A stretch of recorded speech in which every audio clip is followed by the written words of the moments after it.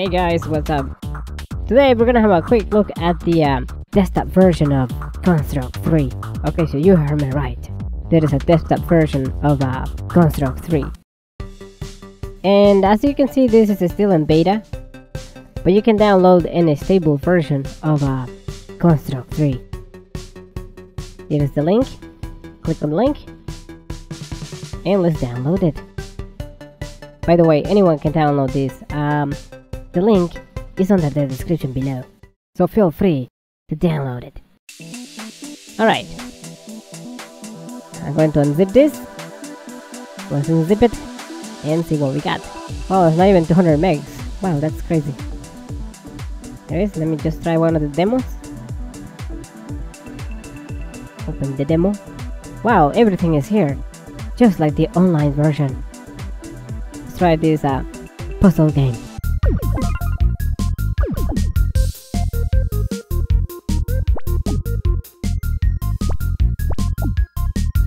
Okay, so that's enough of that puzzle. Let's the spaceship app example. Um, you can export, you can export this, test it, do whatever you want really. So there you go, you will be able to have a uh, desktop version of Construct 3. Yeah, everything works the same, there is no change, uh, except for you don't have to use it uh, online.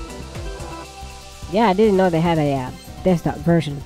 It was actually um, Mr. Dan Insane who let me know. Thanks for letting me know. Yeah, go check out his channel. He has a lot of uh, animations and a lot of funny stuff. Speaking of checking out channels, don't forget to check out uh, SparkTube. You can share your videos with the community. Okay guys, short video. I just wanted to show you this. Check out the new version of Construct 3. Next to the subscribe button there is a bell. Click on the bell. And smack the like button. Bye now.